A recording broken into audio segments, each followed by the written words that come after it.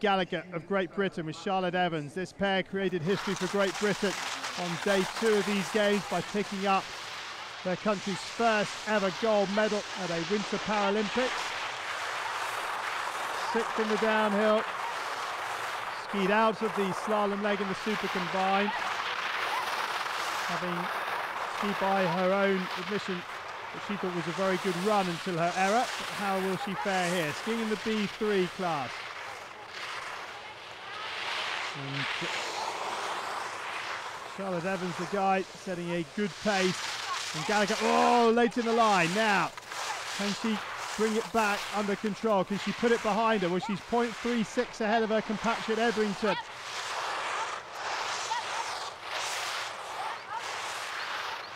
Good skiing here from Kelly Gallagher of Great Britain. Not to be confused with Jessica Gallagher of Australia, who's next out of the start hut. Gallagher's down again. She's lost the ski.